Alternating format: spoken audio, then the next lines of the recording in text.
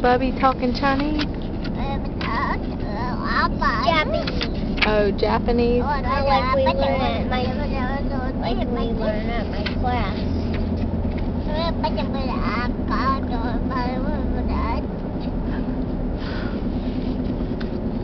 Can you speak Japanese? Can, can you count to ten in Japanese first? I don't. Do I want it. a book. We'll count to Japanese I don't first. want to. I want a book. Do it real fast. I want to do a book. Please, do it real, real fast, and then I'll get you a book. Oh, okay.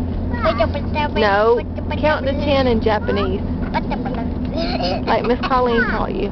No. Please hurry, and I'll get you a book. I don't want to. Itchy. Oh, come on. Tillman, speak Japanese. Hmm. Now can you get me a book?